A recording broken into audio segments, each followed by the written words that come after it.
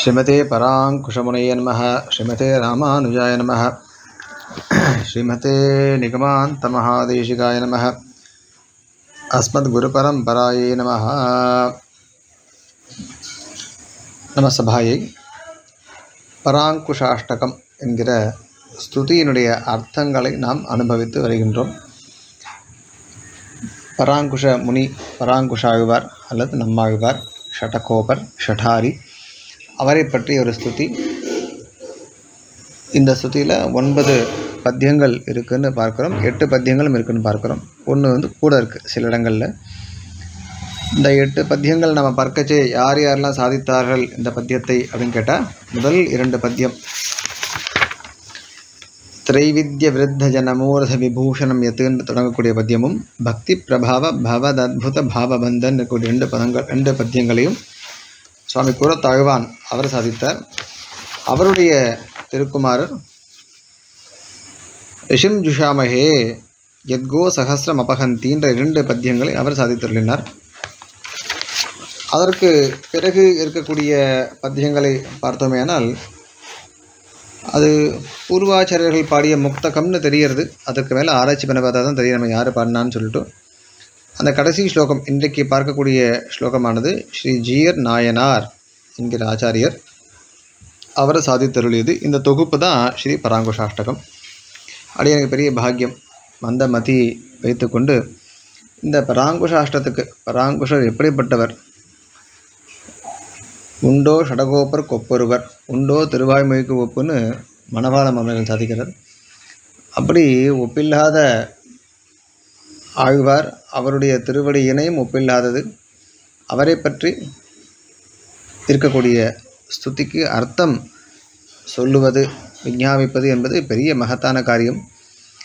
அந்த காரியத்தை அடியன் பண்ணலாமான்னு கேட்டால் அது பகவானுடைய ஆக்ஞை பாகவத ரூபமாக அது நமக்கு வருது வந்தால் நம்ம அதை ஏற்றுக்கணும் ஏன்னா இதை பண்ணுன்னு சொன்னால் அவனே பகவானே பண்ணி வைப்பான்ற நம்பிக்கை நம்ம விஸ்வாசம் நமக்கு போகணும். நம்மளோட மந்த மதியை கொண்டு மச்சக்தி மாத்திரகரனே கிமிஹாசி சக்கியம்னு தேசிகன் சாதிக்கிற மாதிரி சுவாமி வீரவலி ரகுநாதன் ரகுநாதாச்சார் அவர் அடியை நியமித்தார் இந்த மாதிரி இந்த பராங்கு சாஷ்டத்துக்கு அர்த்தம் சொல்லணும்னு.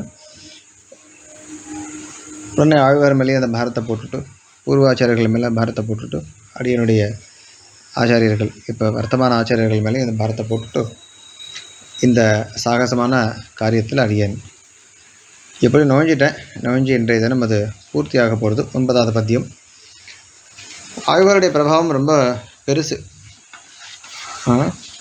அந்த பிரபாவத்தெல்லாம் நம்ம வார்த்தைகளில் சொல்லி இது பண்ண முடியாது. இருந்தாலும் அதை ஸ்மரிச்சுக்கலாம். இப்படி இருக்கக்கூடிய பத்தியங்கள் அந்த பத்தியங்கள் இருக்கக்கூடிய அர்த்தங்கள் மூலமாக நாம் அந்த பிரபாவத்தை ஸ்மரித்து கொள்ளலாம். ஏன்னா அனுபவத்துக்கு எல்லை கிடையாது. அது ஆழ்வார் அனுகிரம் இருந்தால் நமக்கு நிறைய அது சித்திக்கும் அப்படி பார்க்கச்சு இந்த கடைசி பத்தியம் நம ஜனஸ்ய சித்தபித்தி பக்தி சித்திரதூலிகா भवाहि वीर्यभञ्जने नरेन्द्रमन्त्रयन्त्रणा प्रपन्नलोककैरवप्रसन्नचारुचन्द्रिका शठारिहस्तमुद्रिका हठाधुनोतु मे तमः नमज्जनस्य चित्तभित्तिभक्तिचित्रतूलिका भवाहि वीर्यभञ्जने नरेन्द्रमन्त्रयन्त्रणा प्रपन्नलोककैरवप्रसन्नचारुचन्द्रिका शठारिहस्तमुद्रिका शटाधुनोतु मे तमः ரொம்ப அழகான ஒரு பத்தியம் இந்த இந்த இந்த இது இருக்கும் மீட்டர் சந்தஸ் ரொம்ப உற்சாகமாக சொல்லலாம் அது சுவாமி தேசிகன் அவருடைய சூக்திகளில் அதை கையாண்டிருக்கார் பிரசித்தமான அந்த இத்தர தேவதைகளை பற்றி எதுவும் இருக்குது பார்க்கச்சே கணேச பஞ்சரத்தம் சொல்கிறா பிறகு. அதெல்லாம் அந்த டியூன் தான். முதா கரா தமோதகம்னு.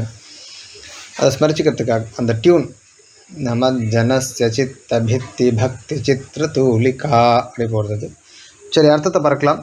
மே தமஹா துனோத்து என்னுடைய தமஸ் என்னுடைய அஜானத்தை போக்கட்டும். என்னுடைய அடியனுடைய அஜானத்தை போக்கட்டும் இதை முதல்ல விஞ்ஞாபிச்சிடும் நம்மளுக்கு இருந்த அஜானமும் போய் நான் நல்லா சொல்லியிருக்கலாம். மாதிரி என்னுடைய அஜானத்தை போக்கட்டும் அப்படின்னு இந்த பிரார்த்தனை. இப்போ எது போக்கட்டும் சொன்னால் ஹ ஷட்டாரி ஹஸ்த முத்ரிகா ஹட்டாதுனோத்து மேதமஹா ஷடாரி ஆழ்வார் இருக்கின்றாரோ ஆழ்வாருடைய அந்த முத்திரை ஞான முத்திரை இருக்கும்னா உபதேச முத்திரைன்னு சொல்கிறோம் ஞான முத்திரை உபதேச முத்திரைன்னு சொல்கிறோம் அவருடைய திருக்கமலம் அதாவது கை கமலம் ஆழ்வார் பகவானை பற்றி ஸ்துதி பண்ணச்சு தாமரை எல்லாமே தாமரைன்ற எல்லாமே தாமரைக்கு ஒப்பிடுறார் பகவானை. அது மாதிரி ஆழ்வாருடைய திருவடி அவருடைய திருக்கை எல்லாம் நமக்கு தாமரை தான் அந்த திருக்கையில் அந்த வலது கையில் நாம் என்ன பார்க்கிறோம்? உபதேச முத்திரையை பார்க்கிறோம். உபதேச முத்திரை மூலமாக ஞானம் அடைந்து அதை தரிசிப்பதன் மூலமாக நாம் ஞானம் அடைந்து நம்முடைய அஞ்ஞானம் என்கிற இருளானது போக வேண்டும். அகையிருள்னு அர்த்தம். இதில் தமகான்னு சொன்னால் வெளில இருக்கக்கூடிய புற இருள் மட்டுமல்ல இது அகையிருள் தான் முக்கியமாக அகையிருள் போயிடுத்துன்னா இந்த பிரபஞ்சம் நமக்கு இருட்டாயிடும். நமக்கு அது ஒன்றும் லட்சியம் இல்லை நமக்கு. ஏன்னா நம்ம ஸ்ரீவைகுண்டத்தை நோக்கி நம்மளுடைய இது இருக்கும். அதனால் அந்த கைத்தல முத்திரையானது அந்த உபதேச முத்திரையானது நம்முடைய இந்த அடியனுடையன்னு சொன்னால் எல்லாருக்கும் தான் அர்த்தம். ஹடாத்து து தமஹா துனோத்து. ஹடம் ஹட்டம்னா பலம் அர்த்தம் பலம்னு அர்த்தம். அடம் பிடிக்கிறான் தமிழில் சொல்கிறாங்க அடம் பிடிக்கிறான்னா ஹட யோகம்னே உண்டு. ரொம்ப கஷ்டப்பட்டு நிர்பந்திச்சுன்னு பண்ணக்கூடிய விஷயம் அது. பலவத்து பை ஃபோர்ஸ்னு அர்த்தம். என்னுடைய தமத் ஏன்னா அவ்வளோ இருக்குது நமக்குள்ள கூடிய இந்த தமஸ் இருளானது அவ்வளோ இருக்கிறதுனால ஹட்டாத்து மே துனோத்து. எப்படிப்பட்ட அந்த அஸ்த முத்ரிகா முத்ரா முத்ரிகா அதெல்லாம் அந்த கப்ரத்தையும் போட்டு அதை மாற்றலாம் அது ஸ்ரீலிங்கத்துக்கு அந்த மாதிரி அதை இது பண்ண முடியும். அதை வந்து பரிவர்த்தனை பண்ண முடியும். சம்ஸ்கிருதத்தில் பிரத்யங்கள் வச்சுண்டு நம்ம ஒரு வேண்டிய ரூபத்துக்கு பயன் மாற்றிக்கலாம் ஆசந்தகன்னு சொன்னால் புல்லிங்கத்தில் சேர் ஆசந்திக்கா அப்படின்னா அது ஸ்ரீலிங்கத்தில் போயிடும். அது மாதிரி. சரி அது இருக்கட்டும். நமஜனஸ்ய சித்த பித்தி பக்தி சித்திர தூளிகா. அவருடைய கை இருக்கணும் அந்த திருக்கை இருக்கணும் அந்த அந்த முத்திரையே ஒரு ப்ரஷ் மாதிரி இருக்கான் ஒரு ப்ரஷ் மாதிரி இருக்குது அந்த ப்ரஷ் என்ன பண்ணணும்னு கேட்டால் சித்திரம் வரையும். ரொம்ப அழகான சித்திரங்கள்லாம் அந்த ப்ரஷ்ஷானது வரையும். என்ன சித்திரம் எப்போ தேவைன்னு சொன்னால் பக்தி சித்திரம். பக்திக்கு ஒரு ரூபம் இருக்குமேயானால் அது அழகாக நம்முடைய சித்த பித்தி பித்தினா சுவர். சித்தமே ஒரு பித்தி. நம்முடைய மனம் அல்லது அந்த கரணம் இருக்கணும். அதை சுவராக பாவித்து கொண்டு அந்த சு சுவற்றில் பகவானுடைய பக்தி ஆச்சாரிய பக்தியை அப்படியே வரைந்து விடுவார். அப்போ சுவரே தெரியாது. ஃபுல்லாகவே என்ன? சித்திரமாக இருக்கும். இல்லையா? அந்த மரத்தை மறைத்தது மாமத யானைன்ற மாதிரி. அப்போ மனசுன்றதே இப்போ பேக்ரவுண்டில் இல்லாமல் போயிடுது. ஏன்னா அது முழுக்க பக்தி நிறைந்திருது. அப்போ அந்த மனசானது இல்லாமல் போச்சுன்னு சொல்கிறத காட்டிலும் லௌகிக விஷயங்களில் அது இயங்காமல் போயிடுது. ஏன்னா மு பூர்த்தியாக இட்ஸ் ஃபில்டு வித் பக்தி. எதனாலும் கேட்டால் ஆழ்வார் தம்முடைய திருக்கரங்கள்னால அப்படி அந்த முதலினால் ஒரு தூளிக்கா ஒரு ப்ரஷ் மாதிரி வச்சுட்டு பண்ணிட்டார் யாருக்குன்னு கேட்டால் நமத் ஜனசிய நமத்து ஜனசிய அவரை வணங்கக்கூடியவர்களுக்கு அவரை அந்த கௌரவத்தோடு கூட அவரை பாவித்து அவரை பிரார்த்திக்கக்கூடிய அந்த ஜனங்களுக்கு அவருடைய அந்த மனசு மனசே சுவர் அந்த சுவற்றில் பக்தி என்கிற சித்திரத்தை வரையக்கூடியவர் அல்லது வரையக்கூடிய அந்த ஞானமுத்திரை உபதேச முத்திரை அப்புறம் பவாஹி வீரிய பஞ்சனே நரேந்திர மந்திர யந்திரனா? நரேந்திரன்னு சொன்னால் ராஜான்ற அர்த்தம் இருந்தால் கூட நரேந்திரன்ற அர்த்தத்துக்கு நட்டில் விஷ வைத்தியனா? அந்த விஷ வைத்தியன் என்ன பண்ணுவாங்க கேட்டால் மந்திரம் இதெல்லாம் வச்சுட்டு இருப்பான். யந்திரம் இதெல்லாம் வச்சுட்டு இருப்பான். அதை கொண்டு என்ன பண்ணுவான்? விஷத்தை நீக்குவான். ஆனால் இவர் இந்த அஸ்த முத்ரிகா இருக்கே பவ அஹி வீரிய பஞ்சனே. பவம்னா சம்சாரம் அஹின பாம்பு. அதனுடைய வீரியத்தை பஞ்சனம் பண்ணுறதுன்னா அதை நாசமாக்குறது. பிரபஞ்சன சுத்தன்னு பார்த்தோம்.